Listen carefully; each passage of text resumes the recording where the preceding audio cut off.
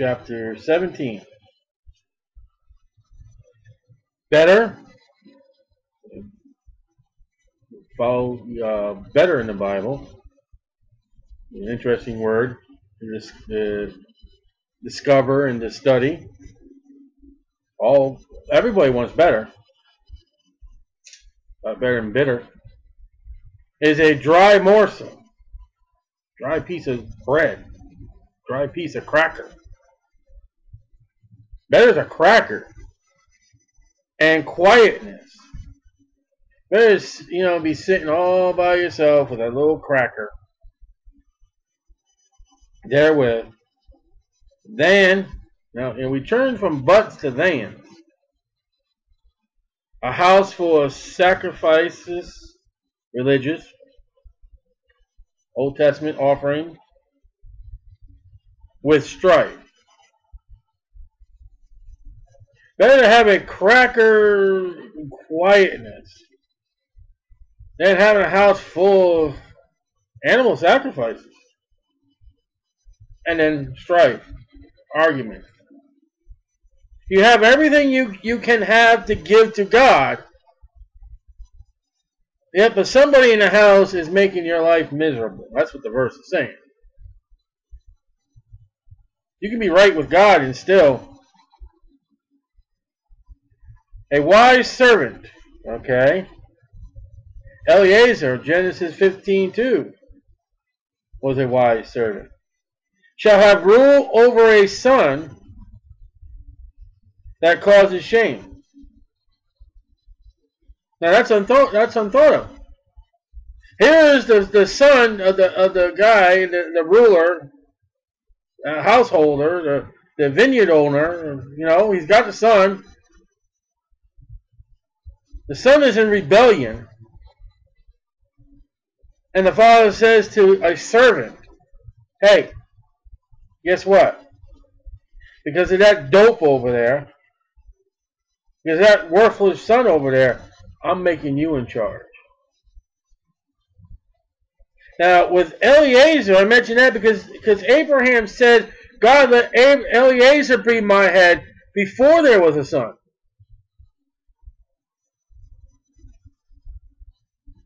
You, we don't, you don't realize what Abraham was doing with Eliezer. Eliezer was so faithful to Abraham, God said, let, let everything be upon him. Let the Messiah come from Eliezer, a servant, before Isaac was born. And there are just some children, listen, you know, of their earthly fathers, of the heavenly father, you know what? You blew it. I'll put somebody else in charge. Then that son would be over would be under the, the servant. And shall have part of the inheritance among the brethren. 2 Timothy 2.12, Matthew 8, 5 through 13. Defining part Proverbs, no, yeah, Proverbs 27, verse 21, and Malachi 3, 3. The fining pot is for silver, for purging. Heat it up, remove the impurity. And the furnace for gold. Heat it up, remove the impurities. But The Lord trieth the hearts. So as man will take silver and gold and heat it up to get the purest, God says, as they do that, I try the hearts. I purify the hearts. 1 Peter 1, 7 and 8. And for trying the heart, Genesis 22. Abraham, offering his to, offer his son to God. The wicked doer. The wicked doer. Doeth what? Giveth heed to false lips. The Sanhedrin with Jesus. brought in a bunch of false witnesses. Even though they couldn't agree with themselves. A liar giveth ear to a naughty tongue. Nothing good. Whosoever, or excuse me, whoso mocketh the poor, Proverbs 14.31, we've already read, reproacheth his maker, capital M.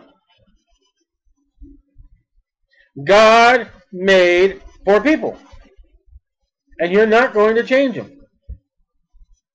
Jesus says, the poor you'll have with you always. The poor, you know, they're in the millennium, they're going to be poor people, the Bible records. So even Jesus Christ on his throne in Jerusalem is not going to solve the poor problem.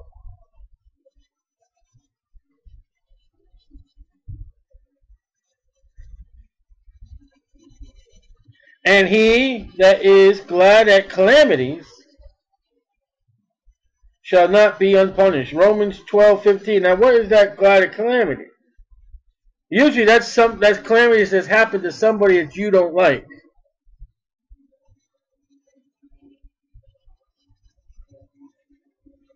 There'll be many glad people, and I am not one of them, that if a calamity happened to President Obama tonight, or tonight, they would rejoice. You, they probably would break out, and you probably would be able to hear them rejoice.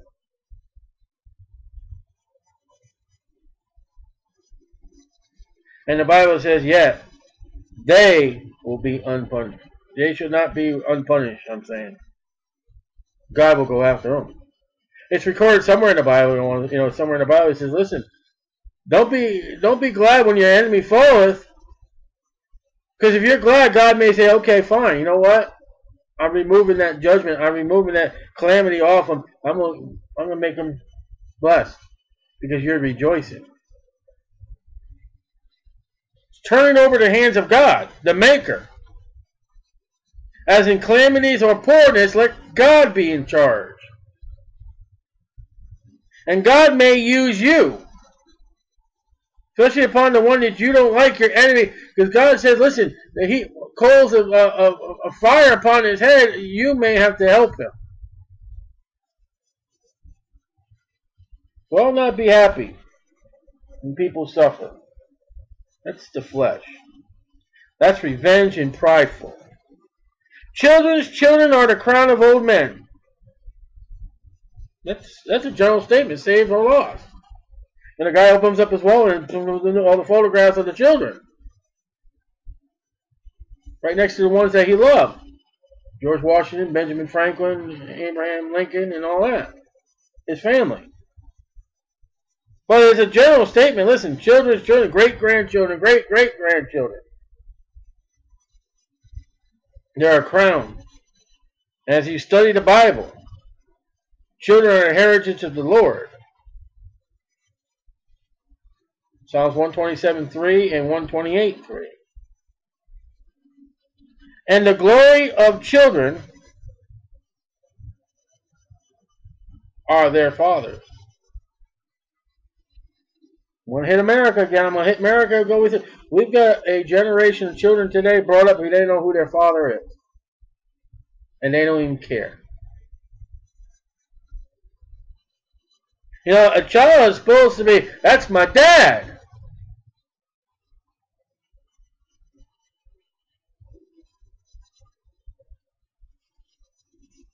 Supposed to be.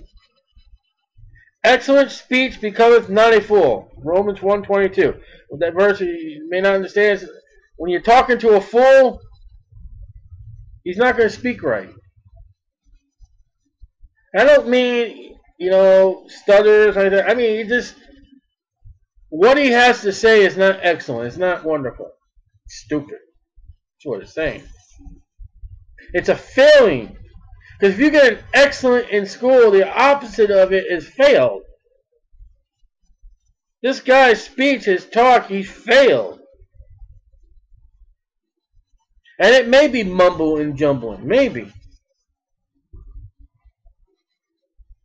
far as the speech is, he's just unlearned. Much less do lying lips a prince. Take somebody who's in political office and lies is equal to a fool who can't talk. You know, he may have a, a wonderful vocabulary and, and has the oralness of uh, uh, being taught in the great schools and all that, and the great teachers. And if it's lying, he's just a fool. A gift is as a precious stone in the eyes of him that has it. Romans 6.23. Now this is a good gift. This is not brighter. This is a gift that, you know, for somebody because you love them. Whithersoever it turneth, it prospereth. And take Jesus Christ as our gift. Eternal life. He that covers a transgression seeketh love. You know? I forgive you. It's under the blood. Don't worry about it. But he that repeateth a matter re separateth very friends. When you keep repeating somebody what somebody has done for you or done to you, some wickedness, some evil thing, whether malicious or not. That's not good. Get over it.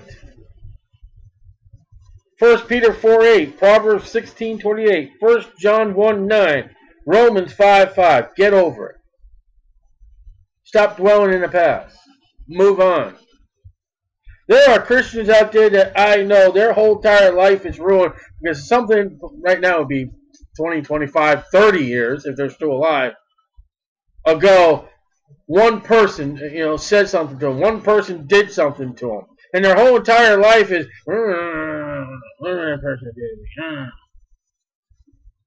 Well, what he didn't do to me, something I deserve. Don't be like that. Get it straightened out. The person is involved alone, the Bible says. Go to him alone. Get it worked out, and you gain the brother. Matthew. A reproof enters more into a wise man. You know, I mean, you go to a wise man, you, you tell him something's wrong in his life. Oh, okay. And he learns and he gets wiser. Then a hundred stripes into a fool. You can beat a you can beat a fool a hundred times over. He ain't gonna learn nothing. And you may have a child when you correct and you put stripes on his rear end. And you know what? His nature may be, you know what? He's a fool. He's going to be nothing. See, when you correct a child, it's like witnessing. You do what God told you to do, but you don't bring the increase. Your responsibility is to do. It is their responsibility to God on what their reaction is to what you do. Now, if you raised your child as best as you could, as the Bible tells you to, as God has led you, and that child has failed, it may not be your fault.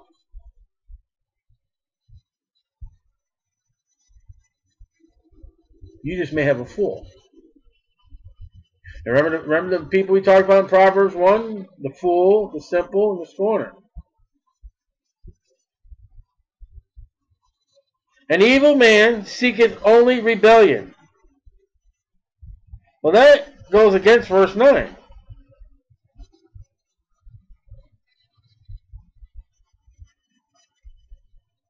He, he, he, the transgressions are there. He's rebellion. He does not want to do good. Therefore, all right, somebody who wants to do wicked all the time. Therefore, a cruel messenger shall shall be sent against him. Let God take care of the vengeance, not you. Jesus said, Offenses must come, but woe unto him that does the offense. Better than millstone be. Listen, woe unto Judas. Somebody had to sell Jesus Christ out. But woe unto Judas who did it. Should have been somebody, you know. Let it not be you. Judas had a free will. If Judas wouldn't have done it, there would have been somebody else. Had Pilate not had Jesus crucified, there would have been somebody else. You just let God do the vengeance. You let God take care of it. And you know what? If you're right with God, God is not going to use you to do evil to somebody. He's not. If you're if you're doing right, living right, let a bear rob her whelps. It must be a little bears. Meet a man. You don't. You don't want to meet an angry bear. Alright? That's just something you do not want to do. Hosea 13, 8. That bear will tear you high thinking you did something to her little babies. Rather than a fool in his folly. There's no reason. Better to meet an angry bear than to meet a fool.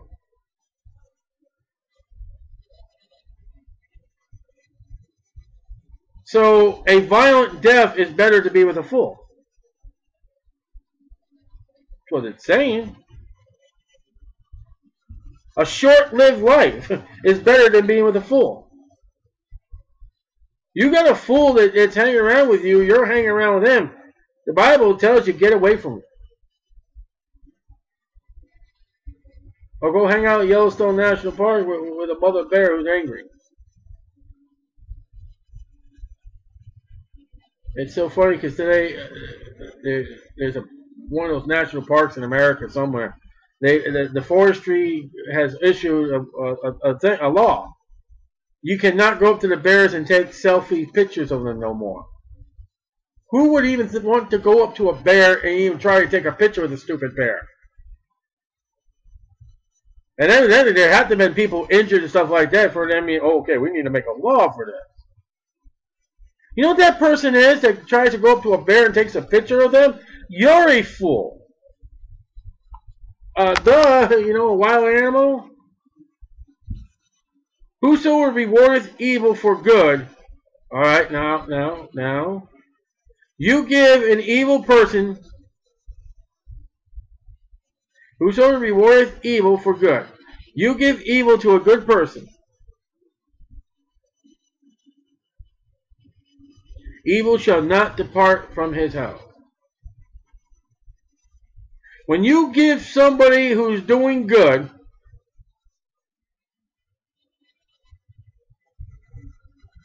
when somebody has done you a job and in return you give them evil, evil should not depart. Listen, you're going to get what you sow. That's a Bible promise.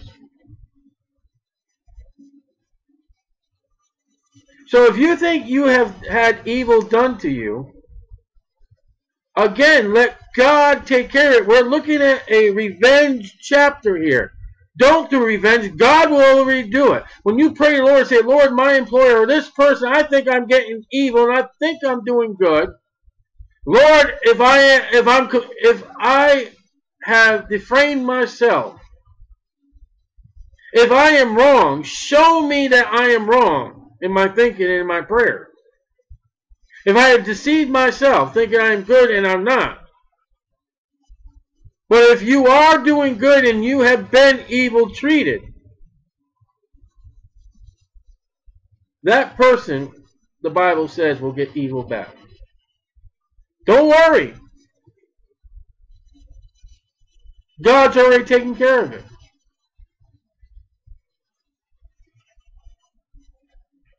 You're going to look at a time, this multi-millionaires and these businesses and how they shortchange their employers one day they're not going to have employers to take care of them no more.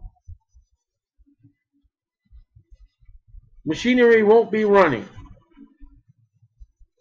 The shelves will be empty by rioting.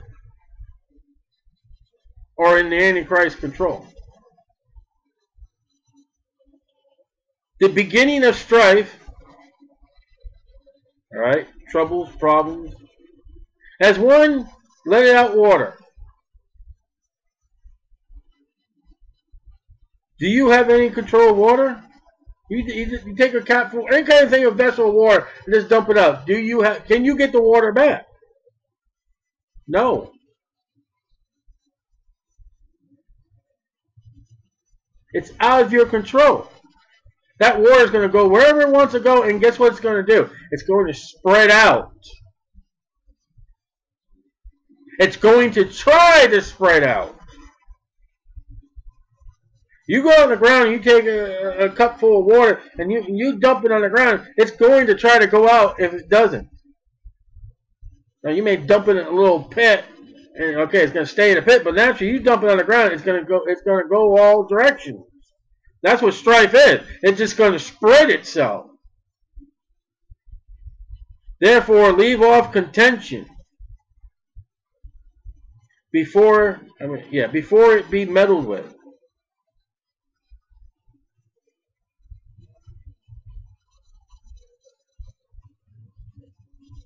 Hosea 13.8, 2 Samuel 19.8. You're never going to get it back. You know, especially, you know, if, if you if you said something that you shouldn't have said, you're not going to be able to take it back. That moment when you tell a loved one to something that slips out of your mouth, you, you can't. It, what are you going to do? How do you erase See, you know, I could write something down on, on, a paper and pencil, and I could erase that. I could write something on a computer, and I could hit delete. But if I said it out of my mouth,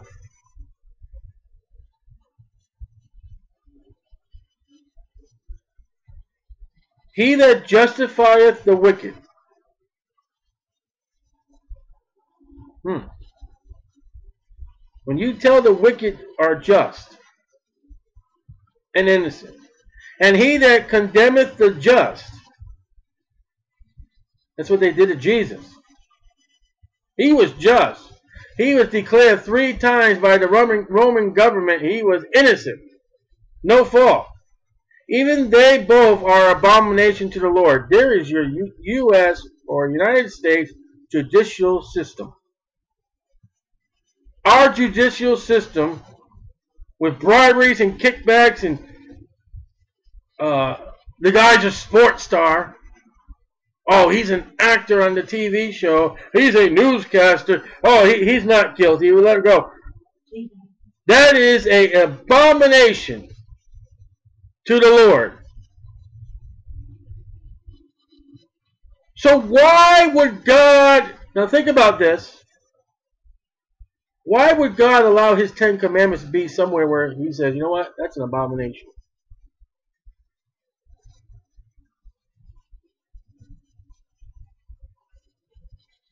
Isn't that funny? That God will not allow his word there. The Bibles are gone. When I went to jury duty, I know, when you get in Connecticut, when you had jury duty, when you swore in as a swear as a, as a juror, did you, did you have a Bible? When we were sworn in, I was just recently last year, went to jury duty. We had to, I didn't know we had to take an oath, but we had to raise our right hand and swear some kind of oath. I don't remember what it was. But there was no Bible.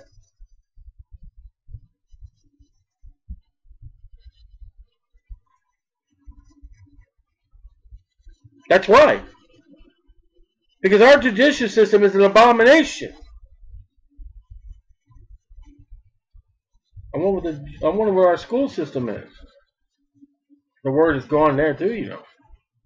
But look at this. Wherefore is there a price in the hand of a fool to get wisdom? There's the United States public public school system. You are spending all this money to get the kid to school and bring him home from school, to feed him into school, to get him his books, and he does not learn nothing and does not want to learn nothing and does not want to be there and waits for a certain age that he can get, get out and go on his own like the prodigal son and then never gets right. One thing for the prodigal son, he said, you know what? This is what I'm going to do. I'm going to go back to my father. I'm going to repent. He did what he said he was going to do, but it's not done by these foolish people that hang around in, in, in America.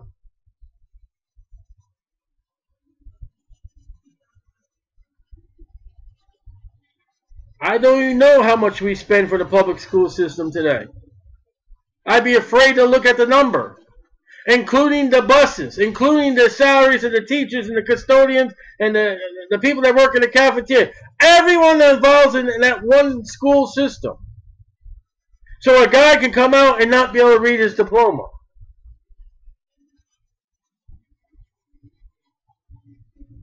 I'm not going to say flip burgers. Because I think I think men that say, "Oh, flipping burgers as a derated job," I think you're a fool. Because you know what? I've flipped burgers. It's a hard job. When you got 25 different hamburgers that you got to know how to fix and what to put on that stupid thing, that you got to take classes today on how to make a sandwich. You can't just have a BLT. You gotta have a B L A B C D F G H I J K W L P. And then you gotta put it in a special way, in a certain way, and, and the secret sauce and the, the bread. I give a I give someone a lot of credit who works for these fast food places. And then most of them are being rewarded evil by non-proper pay. But we see the U.S. judicial system and the public school system within two verses. Seeing he has no heart to it. He, he doesn't want to do it. You know? Well, she's just going to go find all the men she can get so she can get babies to get more state money.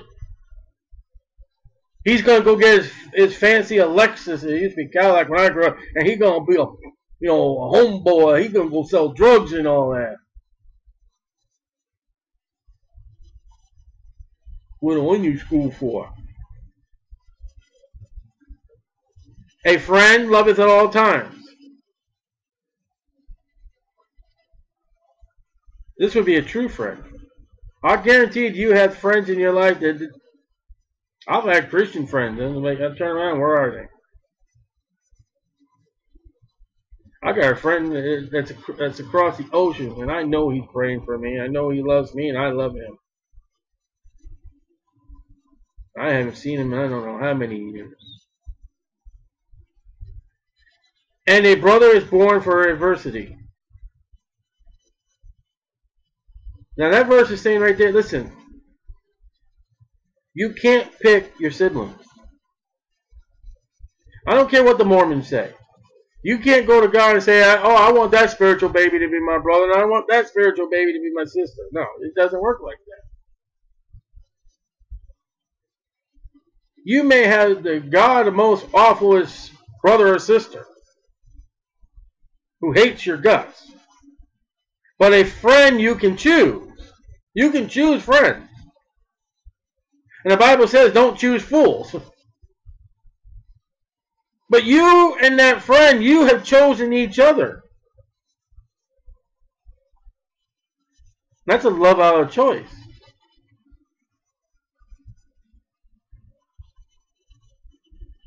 There's probably more love for a, a child that's been adopted because you've chosen that child.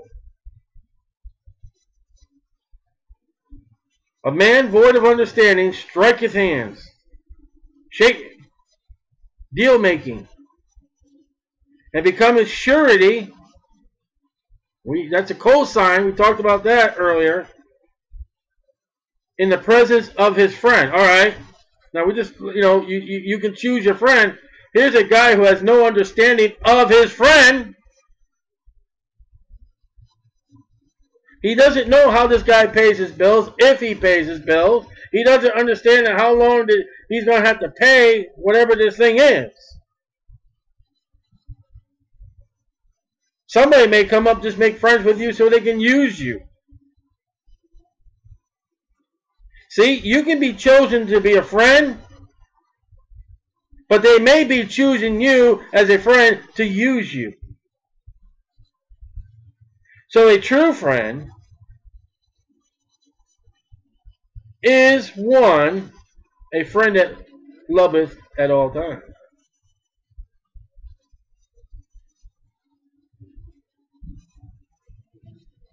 When you become a Christian and you start living for the Lord, I don't care how long your friend is, if they've left you because your service to the Lord, you're witnessing all that, they don't love you.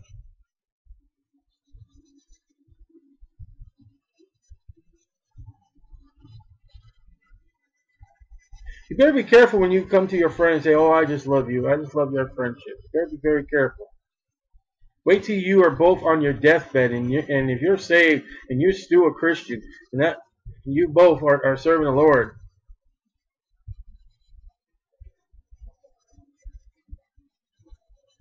You know, Jesus called Judas friend. He chose him. Judas had a free will. I believe that. When Jesus called Judas friend, it's like, you know what? You can get this right. Between you and me. But instead he went to the priest. You hear what I said? He went to the priest. Should have went back to Jesus. Are you telling me if he were going back to Jesus, that Jesus would have rejected him? Now, why did Jesus say it would be better for a millstone be, be hanging by it? Because Jesus already knew what Judas was going to do. He knew Judas wasn't going to get right. But think about it. What if Judas, Judas did get right? He called him friend. Three and a half years at least, somewhere around there. We don't know exactly when Judas came in. But Jesus' ministry, three and a half years if Judas followed from the beginning. They ate together. They, they slept together. They walked together. They, you, know, you know how many, you know, when it says Jesus went from Galilee to Jerusalem, you know how long that journey that is? That wasn't get get into the, the Honda Accord, like the apostles there in the book of Acts, and drive down to the place.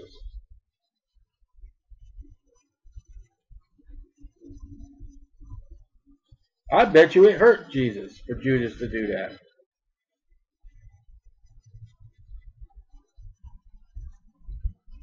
because of the friendship. But in the end, the friendship was ended over 30 pieces of silver. And you better be realized, and you better know, and you better get this down that your friend may sell you out for 30 pieces of silver, or whatever their price is.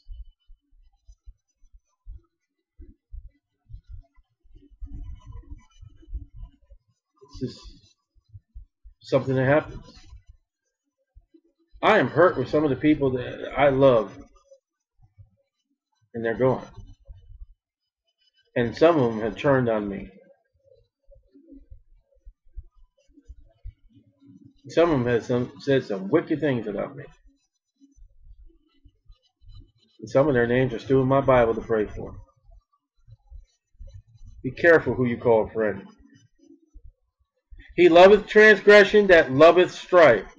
Wow. Who loves strife? Who loves to argue? Oh, I know a television show during the daytime where they love to argue and battle out and fights and stuff like that. And I don't know if I can say that this was a JS.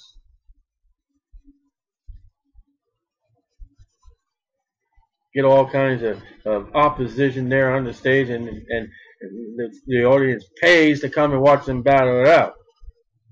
Well, guess what? They love transgression. I see some people that you know, oh, we watched this television show. Like, you're in transgression.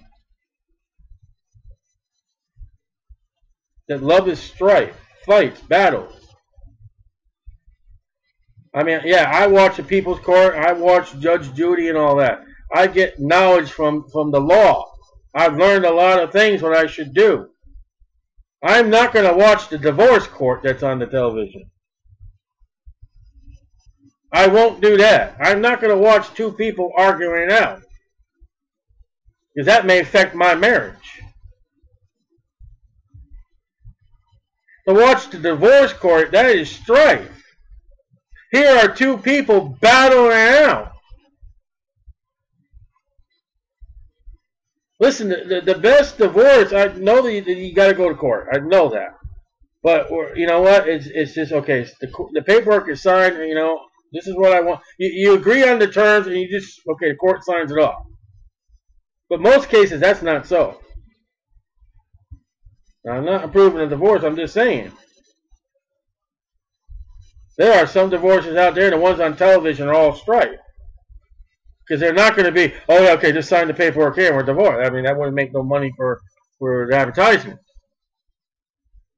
There are TV shows out there that their number one function is for you to watch strife and problems.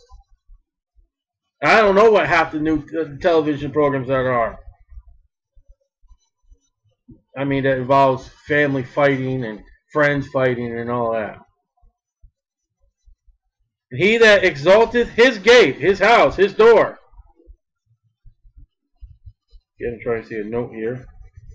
Hezekiah showed all his house to the Babylonians. And later Babylon came and seeketh destruction. Was it at the end? Is it Second Chronicles or is it Jeremiah? That entire list of things were that Nebuchadnezzar took. It's it's a whole chapter, everything that was listed, all about the Ark of the Covenant. Where did that list? Where did that shopping list come from? Those that, those men that came to Hezekiah. Oh, hey, sure it is. What are you doing? Nothing. And over here, look look how much gold I got over here. Thirty pieces of gold, right? Yeah, what? No, we're not doing nothing. No, no, no, no, no. We go to the holy place of the temple. They got a candlestick, a table of gold, and altar of gold. Okay, right there. No, not doing nothing. What's behind that curtain? You know the only place that Hezekiah couldn't take them is the Ark of Covenant. That's the only one that was not listed. They took the brazen altar. They could see they'd taken the the uh uh I can't think of the water. The laver. It's good to have a wife that helps you out. It does. My brain's in a fog. The Babylonians were making a shopping list for later on. Don't be so quick to, hey, look, look, look you know. That's pride. Pride goes before a fall, we learned the other night. All right. He that has a froward heart findeth no good. You know, you waste your money on a shrink. They deal with your head and mind. That's the Bible says that's not your trouble. You got to go to a preacher with the Bible and Scripture for the heart. And he that has a perverse tongue, James 3 8, James chapter 3, he has a perverse tongue falleth into mischief. Too much talking.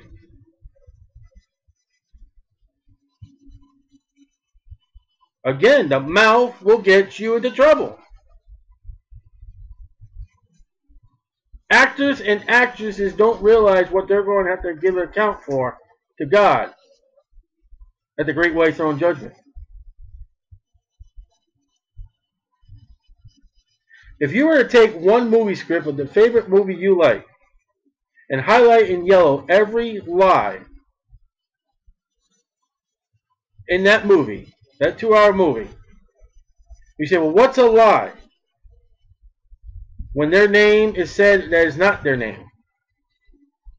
When they say their occupation and there's not their occupation. When they say they live at this dress and they don't live at that dress. When they tell the other the the other uh, person on the screen, "I love you," and you don't, that's a lie. When they tell their age is not their age, that's a lie. And we're going to go down to a coffee shop. We're going to get some donuts and coffee. You're not going down to a coffee shop to get coffee. It's it's a make pretend building. And when you do get the coffee and donuts, it was given to you by the catering department. That's a lie.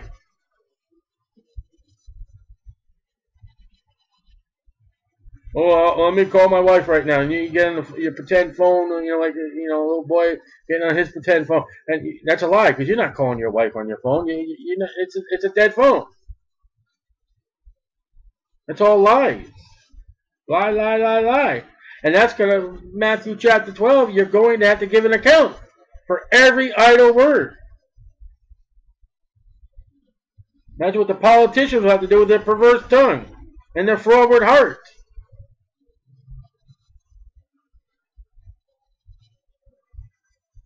He that begetteth a fool, mother or father, doeth it to his sorrow. And the father of a fool has no joy. Eli, Samuel, and David. Go back and read about their children. You think David was a happy man? He had one son rape his, his, his, his granddaughter. One son tried to usurp authority. Samuel just says that his boys were just, uh, couple verses says they, they just didn't walk with the Lord. Eli, oh boy, they were they were taking women and, and, having intercourse at the temple, it looks like, or the tabernacle. They would come up to the brazen altar and the, and the offering wasn't even done. They stick a flesh hook in a pot, say, okay, this is for my dinner. Half raw, if not raw. Did you get that? Hey, merry heart. Sense of humor, laughing. Hey, glory. Mappy. I got the joy, joy, joy down deep in my heart. Get that? Do it like a medicine. So for you know what? Put some of those pill bottles away and just get a happy heart. A happy heart will, will give you health, the Bible says. It won't be a blood pressure issue unless you got too much salt. Even then, I don't believe that one. I guarantee last night I did not have a merry heart, and I guarantee my blood pressure was bad.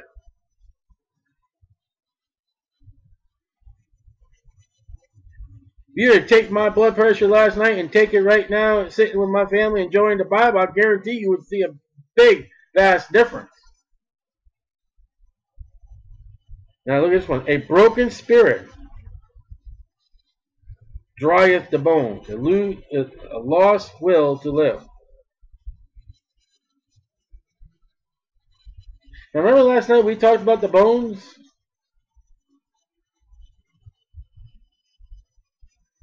The Bible tells you how to live long if you obey it. Sorrow and anxiety. Dry. Now listen, I'm not. You get news that somebody's died. Okay, yes, you're going to be sorry, but don't stay. Don't go into depression over it. Even if it's a lost one that's died and gone off to hell, there's nothing you can do now. And even if you did not witness, if you did not do nothing for that, that person, get up and go tell someone else before they die. Become evangelists.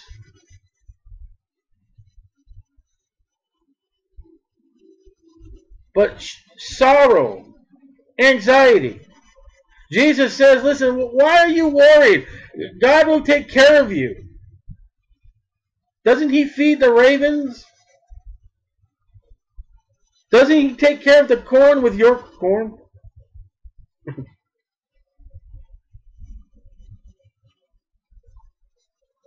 It's unhealthy.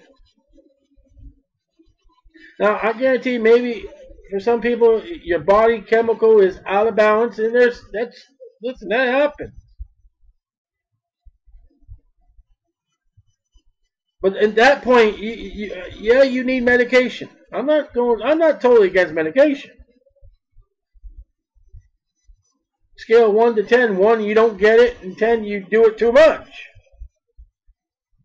But then, at times, you got to get on your knees with the Lord and say, Lord, you know the Bible says that this is unhealthy. I need your help.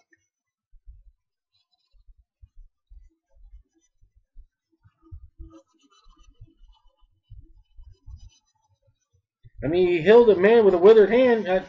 Imagine what the bones looked like in his arm.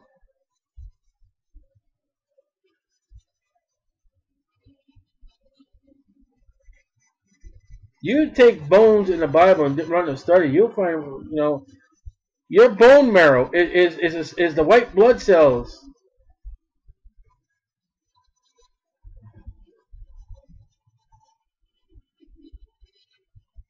You got a broken bone in your leg, you're not going to walk right. You got a broken bone in your arm, you're not going to be able to carry things right. I've been told one of the worst interior pains that you can have outside of pregnancy is, is you you got a broken rib.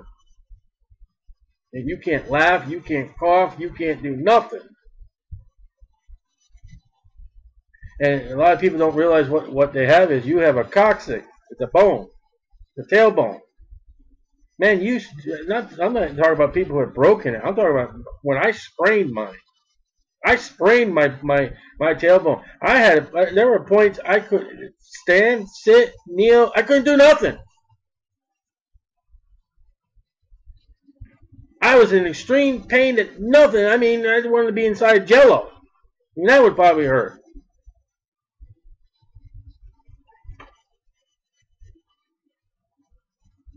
You to take heed to what the Bible says about your body. A merry heart.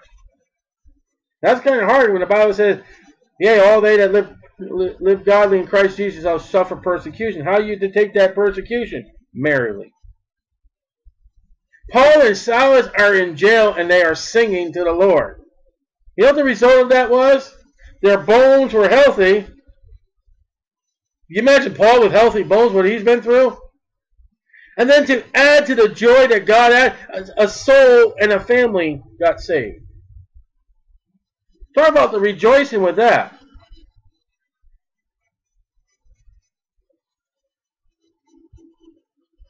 And there were times that God gave Paul an Epsom salt bath, the Bible said. I think he said three times he was out in the deep and from shipwreck. So he was out there soaking. Take heed to what the Bible says about your body. It's a sin to be a glutton. And I fall into that sin. A wicked man taketh a gift out of the bosom to pervert the ways of judgment. That's a bribe. And that goes on with our justice system, and that goes on Capitol Hill. Big corporations will give money and give you money so you can run for office, and then you, you know, there are pastors in the pulpit that, that follow this verse 23. You give me plenty of tithes, and I'll preach all the fluffy, marshmallowy, you know, bumblebees in the daisy field. Well, oh, if I go preach against sin, people are going to leave, and they're not going to get. That's a wicked man, the Bible says. It's a wicked man for a man not to preach what he's supposed to preach because you give him money not to preach what he's supposed to preach. How's that? I said it. I'll mark my name down on that. Wisdom is before him that has understanding. Okay? But the eyes of the fool are in the ends of the earth. His eyes are so far, he can't even obtain it. It's unattainable. Deuteronomy 30, 14, Romans 10, 6 through 8, and Daniel 12, 4. A foolish son is a grief to his father. You already read that and bitterness to her that bare him. Plain and simple. Also to punish the just, Jesus Christ. Christians today in America, 2014, is not good. Nor to strike, to smite princes for equity. Recall, you, you, you go after them. He that has knowledge spareth his word. So you don't talk as much if you got knowledge. 1019. And a man of understanding is of an excellent spirit. How's that? Did we just read something about excellent? Now, verse 28 is the, I think there's only two places that you find a good fool. And this is one of them, if not the only one. I don't. I think there's two, but this may be the only one. Could be two. Even the fool, when he holdeth his peace, is counted wise. Did you know that's an oxymoron? When a fool shuts up and doesn't say this to talk to talk, he's wise. He's a fool, but he's wise for keeping his mouth shut. And he that shutteth his lips is esteem of man of understanding. Keep silence. Better not to say than to open up your mouth and get yourself in trouble. You want, want to stay out of trouble? Keep your mouth shut. You know how I, you know why I, I get in trouble on the streets? Because I open up my mouth about Jesus. I guarantee I got myself in trouble at Walmart today. I know I did. I'm going up to people, him gospel track, say, do you really know what Halloween's all about? And then him the history of, of Halloween. I know somebody went to the store manager, and they know the manager tried to went find me by the time we were gone. And wearing my Jesus Save Sinners shirt to add it to no less. See, it's great to have a, a wife that loves the Lord. and She's got a pocket full of tracts. And I mean, I had regular tracts. I'm like, hey, you know, give me some of those tracts you get there. Let me go use them. And she gets the credit, too. That's the end of that